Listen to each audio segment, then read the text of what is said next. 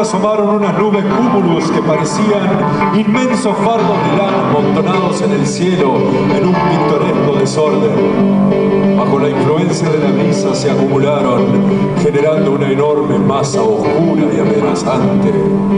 La balsa yacía inmóvil flotando sobre el mar, manso y sin olas. En silencio aguardaron la tormenta.